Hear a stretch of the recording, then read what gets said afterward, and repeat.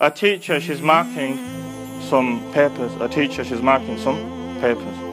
Her husband sitting next to her. And she starts to cry. She starts to cry. Her husband says to her, I'm watching TV, why are you crying for? You know, chill out, man. Let me watch TV, why are you crying for?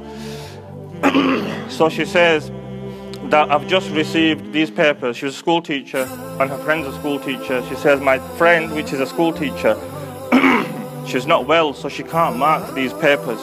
So she's handed these school papers to me. So I'm going to mark these school papers. So he says, well, okay, but what's there to cry about about that? You know, just get on with it.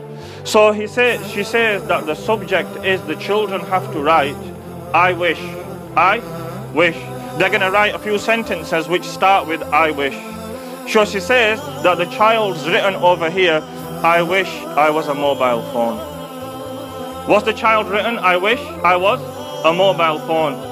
I wish I could be in my mother's hands. I wish I could be in my father's hands. I wish every time I rang, meaning I was a mobile phone and I rang, it would put a smile on my mother's face. I wish every time I was a mobile phone and it rang, it would put a smile on my father's face. I wish when my father lost me, he would turn the house upside down. I wish when my mother lost me, she would turn the house upside down. I wish when every time she got a call, my mother would be happy speaking to me.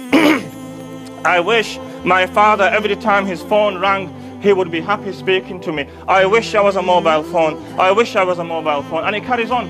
I haven't got time. Okay? Loads of stuff he says. That little child says, I wish, I wish, I wish. So you know the person says to his wife, well, why are you crying for? Tera kya hai? Why are you crying for? You know what she says? She says, that's our child.